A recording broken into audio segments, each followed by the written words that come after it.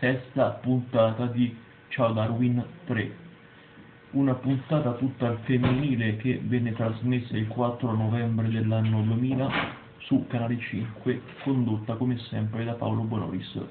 Si sfidarono donne donne, non fu quindi una sfida mista o di soli uomini, ma solo le donne si sfidarono, in particolare si sfidarono le donne belle contro le donne brutte.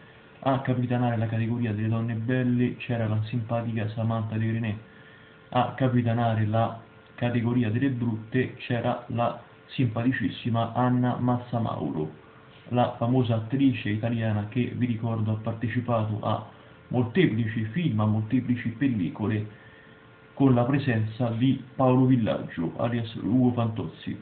Bene, tra le due categorie sociali in questione che si sfidarono nel 4 di novembre dell'anno 2000 vinsero le brutte ai danni delle belle.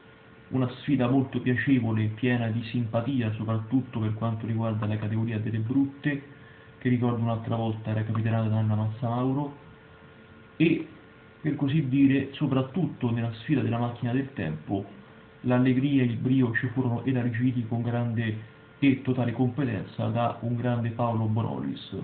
Grazie utenti,